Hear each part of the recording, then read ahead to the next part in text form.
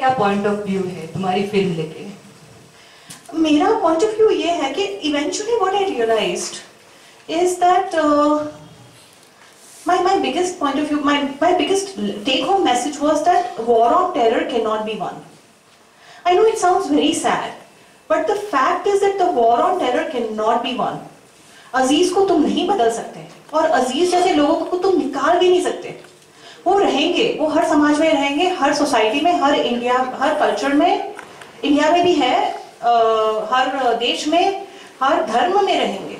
लेकिन हमारे खुद के हाथ में इतना पावर है कि हम लोग अज़ीज़ के जो आर्सेनल है उसका जो पावर है वो हम लोग डिफ्यूज कर सकते हैं। So we need a lot of Tariqs we need hundreds of Tariqs to combat one Aziz so we we need to empower Tariqs that's what we can do we can empower people like Tariq और वो लोग ही धीरे धीरे धीरे you know war on terror can not be won it can be defused वो उसको धीरे धीरे धीरे धीरे डिफ्यूज करेंगे। उसमें ना, उसका जो फुग्गा है, उसमें छोटा छोटा छोटा छोटा छेद करेंगे, ताकि वो खुद ही फट जाए। क्योंकि अज़ीज़ के पास अगर फॉलोअर्स नहीं होंगे तो वो उसका पावर खत्म हो जाएगा। और हम लोग actually Aziz biggest strength is hate the more we hate him the more powerful he gets you really have to understand this at the core लेकिन हेमल हमने जो देखा कि तारीख का जो स्कूल है उसमें ना रूम्स है अच्छे ना कुछ सीमेंट का कंस्ट्रक्शन है। और जो मदरसा देखा वो एकदम ही वेल फर्निश्ड था। तो तुम जो बोल रही हो वो कैसे हो सकता है? अभी मतलब ऐसा लगता है कि मदरसा और रेड मॉस को कहीं और से फाइनेंशियल सपोर्ट मिल रहा है इसलिए वो चल रहा है नहीं I mean we didn't present it in the film But uh, there have been a lot of uh, reports that uh, madrasas like such as Aziz's have been funded by Middle Eastern charities. उन लोगों को middle eastern charity से funding मिलती है और उसमें से एक और मैसेज भी तो मिल रहा है कि तारीख जैसे जो लोग हैं जो बहुत अच्छी तरह से स्कूल्स खोलना चाहते हैं, उनको गवर्नमेंट सपोर्ट नहीं कर रहा है।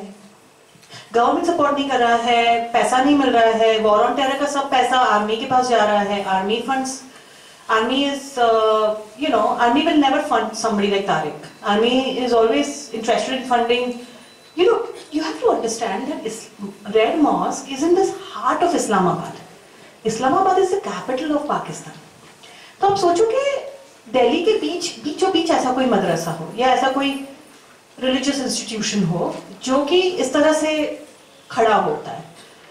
रेड मॉस के ऑलमोस्ट 200 मीटर्स दूर राइट साइड पे I don't remember which side एक साइड पे आईएसआई का बिल्डिंग है और एक साइड पे आर्मी हेडक्वार्टर्स है। सब कुछ साथ में है। इनफैक्ट जहाँ से ओसामा बिन लादेन पकड़ा गया एबटाबाद वहाँ पे उस एरिया में मैं गई हूँ।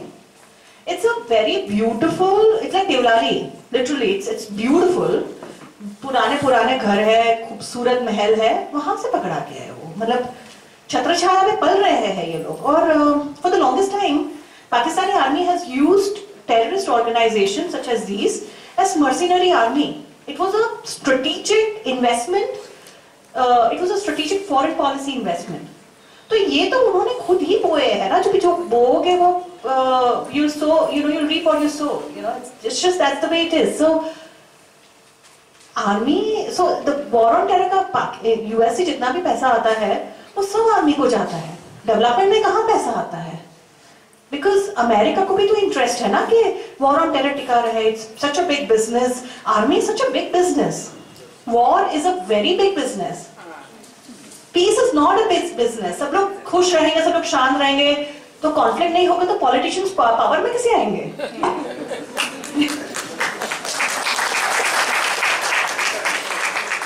तुमने कहा था कि ये एक अलार्मिंग मूवी है फॉर द वर्ल्ड तो उसको थोड़ा एक्सप्लेन करो कि क्या मतलब इससे मीनिंग लेना चाहिए?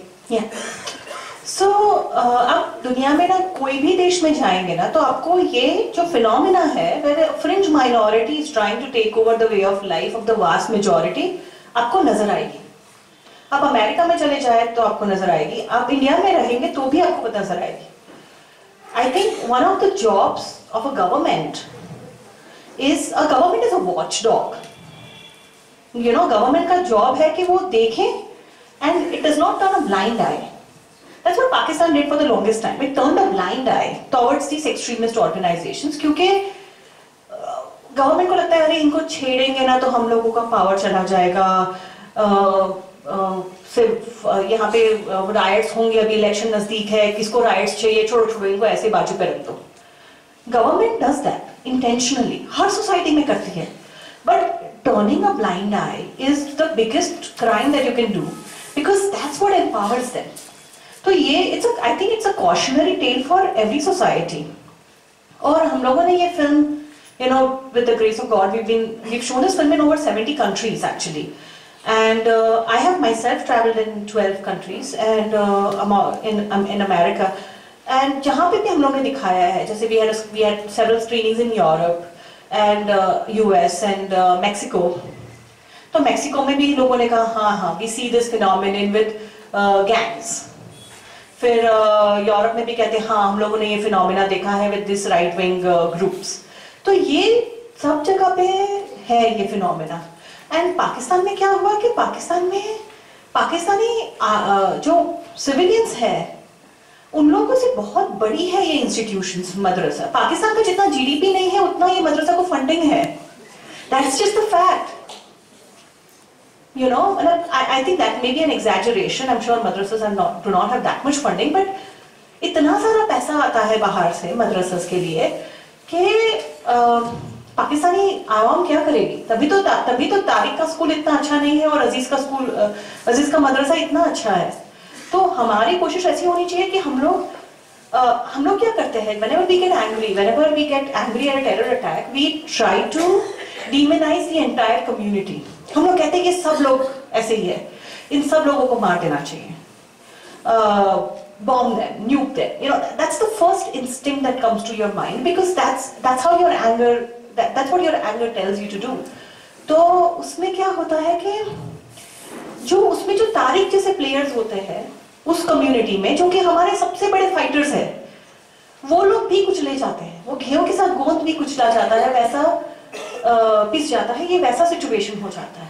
तो इवन अमेरिका में भी वॉर ऑन टेरर के नाम पे the entire Muslim community is where is the biggest people to fight ISIS within America are Muslims and we need to like join hands with moderate Muslim organisation which we don't because हम लोग सबको demonise कर देते हैं। We paint them all with the same broad brush which I think is the most I mean humanitarian basis पे भी नहीं करना चाहिए बट स्ट्रेटेजिकली भी नहीं करना चाहिए even for from a foreign policy point of view even from a political point of view we should not do that so that's my biggest take away is you know for me the biggest person who can fight Aziz is actually Tariq Tariq के अलावा मुझे कोई और solution ही नज़र नहीं आता है. लेकिन तारिक के फॉलोअर्स बढ़ने चाहिए एग्जैक्टली exactly, तारिक बढ़ने चाहिए. और तारीख आने चाहिए. हम लोगों को और तारीख को एम्पावर करना चाहिए जिससे कि अज़ीज़ का पावर डिफ्यूज हो जाए Hemal, you said that intolerance is the main cause to disaster. Yeah, it's a recipe for civil war. तो तुम इतना ओपनली इन सब चीज़ों के बारे में बोलते हो बीइंग अ लेडी और बीइंग एन इंडियन तुम्हें डर नहीं लगता है कुछ लाइफ थ्रेट्स तुम तुमने फेस किए हैं एक्चुअली um, uh, मेरे फ़िल्म क्रू ने पाकिस्तान में डेथ थ्रेट्स फेस किए थे right after the film was released and इसलिए हम लोगों ने तुरंत अज़ीज़ को फ़िल्म बता दी। तो अज़ीज़ खुश हो गए, क्योंकि ट्रेलर जो है ना थोड़ा आप देखोगे ना तो ट्रेलर थोड़ा सा डिस्ट्रीब्यूटर्स ने बोला कि थोड़ा सेंसेशनल बनाओ, ताकि लोग देखे डिस्ट्रीब्यूशन मिल जाए यू नो पैसा भी तो थोड़ा सा तो we need to at least break even you know तो हम लोगों ने थोड़ा सा तड़क फड़क डाला है ट्रेलर थोड़ा। फ़र्क मतलब लेकिन तुमने वो सब रियलिस्टिक सीन्स शूट किए हैं हाँ नहीं रियलिस्टिक डाला है but we kind of have shown a very it's a little I think the trailer is not doing justice to the film the trailer is a little extreme in comparison to the film which I personally think is more balanced but trailer उन्होंने थोड़ा सा sensational बनाया है तो अज़ीज़ को बहुत गुस्सा आ गया कि ट्रेलर देख के कि ये क्या है। तो थ्रेट्स आए थे। फिर हम लोगों ने अज़ीज़ को फ़िल्म बताई बहुत प्राइवेटली चुपके से बताई फ़िल्म तो अज़ीज़ को बहुत अच्छी लगी। और अज़ीज़ ने कहा, अल्लाह ने भेजा है आपको। अमेजिंग हम एक्चुअली यूट्यूब पे है वो वीडियो हम लोग ने डाला है। सबके लिए, ताकि सब लोग देख लेके हम लोगों को ब्लेसिंग्स मिली है।